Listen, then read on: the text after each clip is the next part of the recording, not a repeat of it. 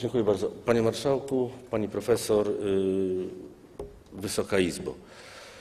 Moi przedmówcy tutaj w piękny sposób yy, przedstawili zagadnienie, którego ja mam zaszczyt też przedstawiać w imieniu naszego klubu parlamentarnego.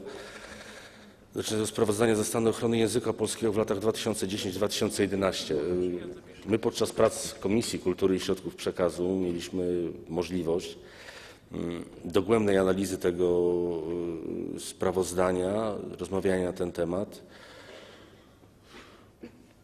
Ja, mimo tego, że widzę bardzo dużo zagrożeń, to nowomowa, wulgaryzmy,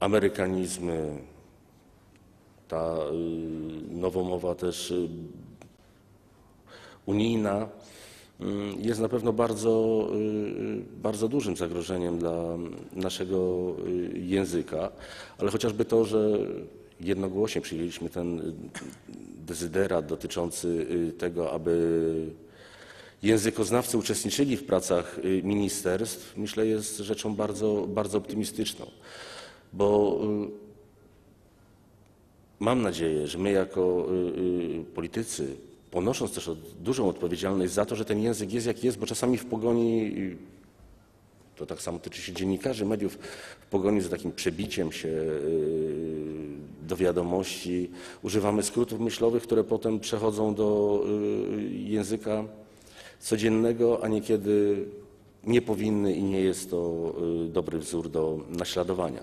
Ale myślę, że dzięki temu, że ministerstwa będą, mamy nadzieję, że będą korzystały z pomocy y, y, filologów, pomocy językoznawców, y, ten przykład pójdzie też na dół, bo naprawdę jest bardzo dużym problemem zrozumienie pism, którzy, które obywatele dostają od instytucji. I to od tych najmniejszych, przez spółdzielnie mieszkaniowe, gminy, wspólnoty mieszkaniowe. Naprawdę ciężko jest wywnioskować z tych y, y, pism, zawiadomień, o co właściwie chodzi i na jakim etapie jest y, dana sprawa.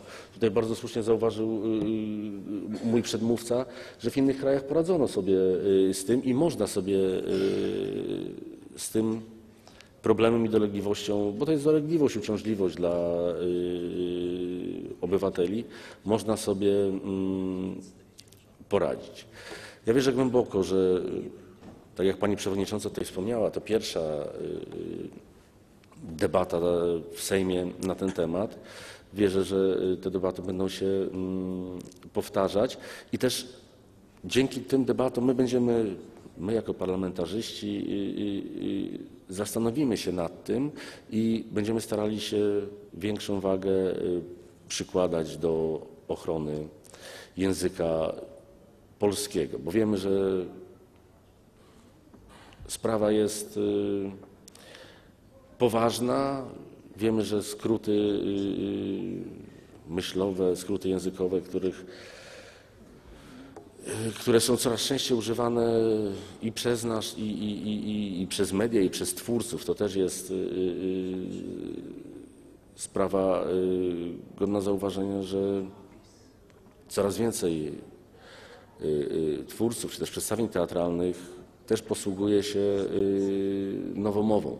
Coraz mniej mamy y, możliwości słuchania tego języka mm, klasycznego i to jest problem, ale ja wierzę, że samo to, że rozmawiamy tutaj y, w Wysokiej Izbie y, o tym zagadnieniu jest już bardzo y, y, optymistyczne i wierzę, że będziemy w stanie nasz język ojczysty y, ochronić i posługiwać się nim tak jak należy. Dziękuję bardzo.